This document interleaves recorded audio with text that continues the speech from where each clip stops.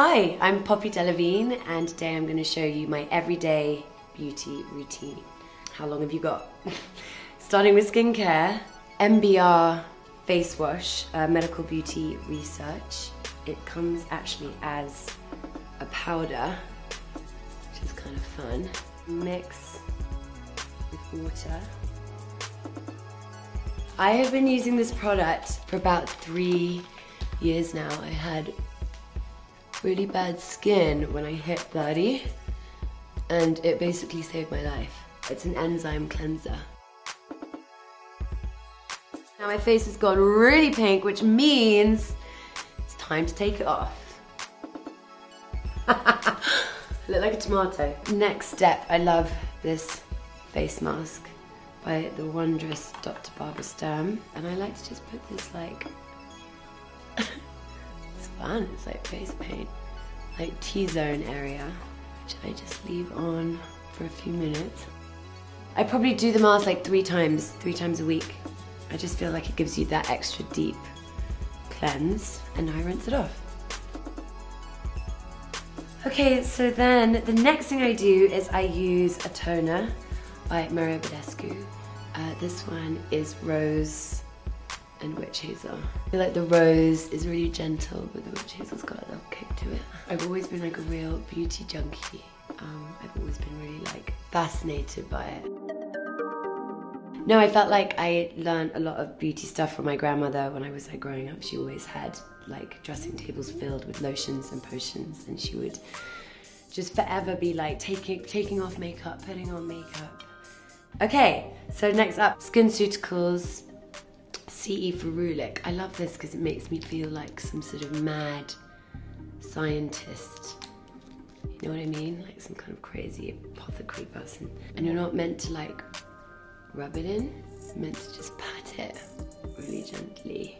Getting rid of all those wrinkles. Okay, then, just to make it even more apothecary and weird, there are these little ampules by Barbara Sturm again, which you crack try not to get glass in it. Then you pour out like this.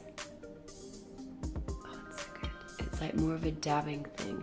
There's like also a really good trick with these ampules is especially in summer, you can put them in the fridge and then crack them open when you're like hot and it's just really refreshing and hydrating.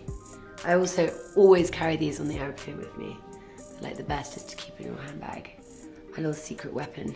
This is like the part two of the SkinCeuticals. It's their B5 Hydrating. It's like a moisturizer. Now I mix this with my SPF, so I do two, three drops of that, and I add Heliocare SPF 50.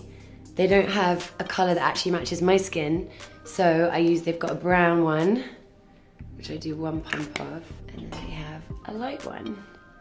So I mix the two together. Heliocare, um, the SPF that I use every day, it doesn't matter if it's like sunny or not, I use it, I'm quite religious with my SPF. It used to fill me with horror, the idea of like putting sun cream on when you've got like really bad acne, and it used to really freak me out, but Heliocare is like really anti-greasy, and it was the best product to use. I was a tomboy and I wasn't really like into makeup. And it was only when I started modeling that I realized I had to like start taking care of it a little bit and be less lazy. And now I'm fully addicted. I'm fully SPF'd. Um, oh, and before I forget, a little bit of eye cream, Sisley eye cream, just a tiny little dab. But today, for you, I thought, why not? And the key with the eye cream apparently is not to go too high up against the eye. So when I did Barbara Sturm's blood cream, and they take your blood, so you have like a blood test basically, and then they put the blood into a centrifuge with the moisturizer, so all like comes together. It was pretty incredible, but it kind of freaked my husband out. He was less into kissing me at that point. Anyway, she does a really good lip balm though, as well. And uh, here's a little bit of that. And that is the skincare bit my massive hands, what the hell? So hair, a little bit of dry shampoo, which I use this like really old, I think it's like super old. It reminds me of like the 70s. It's called Batiste. And then, just to like finish with that, I use this uh, System Professional Solar Sun Oil and it smells literally like heaven on earth. I do two pumps of that just to make it sort of a little nourished because the dry shampoo can be like a little drying. Anyway, we're getting there. I just got back from um, a few days of Burning Man where I had these um, really mad unicorn hair extensions. So my hair's feeling a little dry. Uh, they were like pink and purple and turquoise. So a product like this saves the day. Okay, so next is makeup. Start with a Bobbi Brown concealer pen. I don't actually know what I would do without this. That you can ever put on enough. I don't feel like anyone really taught me apart from like just begin starting work as a model.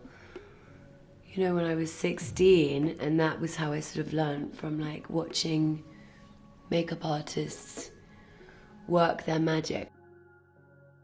There we go, concealer. Thank God that is on. I'm beginning to feel a little more human. And then, this is literally one of my favorite products in the entire world. It's Charlotte Tilbury's Film Star Bronze and Glow, and I literally don't know what I would do without this palette. Um, but I'm one of these girls that loves to be more bronze than rosy cheeked, if you know what I mean. And this does it. So a little bit on the cheeks, and then it has this other little section to it, which is like a little highlighter, which I just do right on the top of the cheekbone. A little bit on the neck, by the way.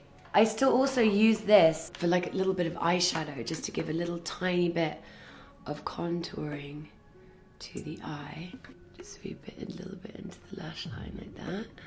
And then the other side. I mean, I love Charlotte Tilbury more than anything. She did my wedding look in London five years ago, and yeah, I, I loved that. She used, I think it was like she'd just come out with this product. Um, I remember that she used Pillow Talk, the lipstick. It was just a dream. It was like my best day of my life and a dream come true to get to work with her on it. We could do a tiny bit. And I always like use this like in tiny, tiny amounts because I feel like when you step out and you've got too much like powder on, you can really see it on your skin.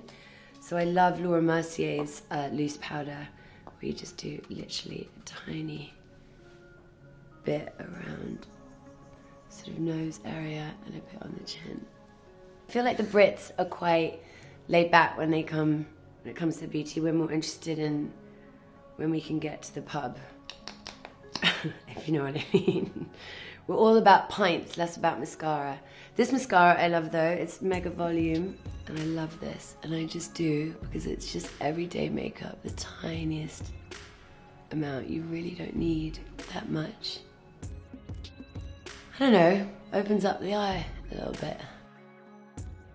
Okay, so then that's the mascara and then a little bit, tiny little bit of NARS lipstick. It's called Raw Seduction, lol. Um, and I just did a tiny bit of that.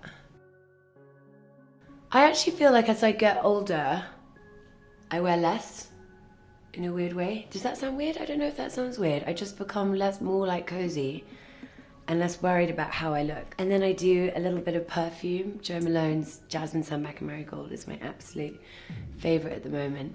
I like to spray it and then do like a kind of wiggle. It's gonna be hard to do, so I can probably spray myself in the face and then be like, ridiculous, and I ate it all.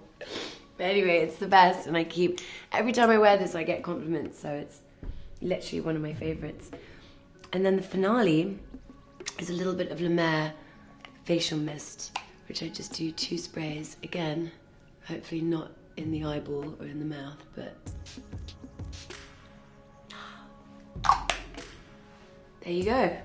And there you have it, my everyday beauty routine, skincare, and makeup. Ta-da! Okay guys, thank you so much for watching. Love you.